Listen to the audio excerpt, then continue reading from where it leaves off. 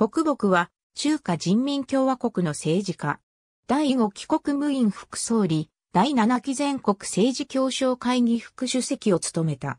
元の名は、劉家語だが、日中戦争期に家族に類が及ぶことを危惧し改名。堺西出身の共産党幹部豪影。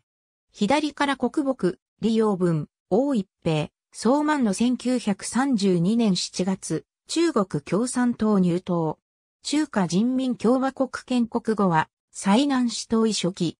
1952年に上海に移り、市党委宣伝部長、副書記、工業生産工作委員会書記、加藤局工業部長、上海局委員など。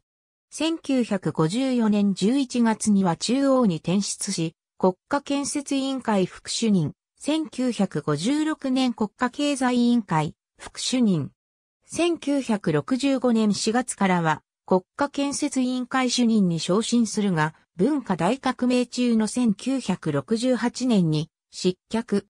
1973年に国家基本建設委員会、国家計画委員会副主任として復活。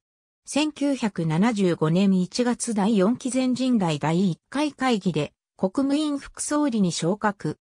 副総理に再選された1978年5月に経済代表団を率いてヨーロッパ5カ国を歴訪して、その発展に衝撃を受け、訪日で同じく中国の遅れを痛感していた東小平らの指示を受けて外国から資金を借りて工業設備を導入する近代化プランを提案した。当時は自力構成路線の影響が残っており、保守派からは売国だと攻撃されたが、第11期三中全会で改革派が主導権を掌握すると資金借り入れに奔走した。1979年に日本の ODA 導入に貢献。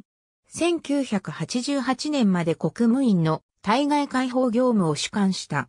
中国共産党第11期、第12期中央委員、中央書記所書記。1988年に国務委員を退任し、4月の第7期全国政治協商会議で副主席に当選。儒教の復権を進め、京里三等省出身の孔子の名を冠した公式金会を設立。孔子予家府の完成を掲げた際には、孔子第77代の子孫皇徳を通して、台湾の穴特性から許可を取り付けた。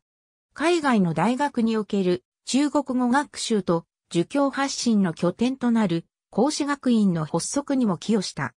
2008年4月、日本の中国に対する円借款を導入する受け皿として指導的役割を担ったとして、朝日大受賞を受賞している。2009年11月6日、北京で病死。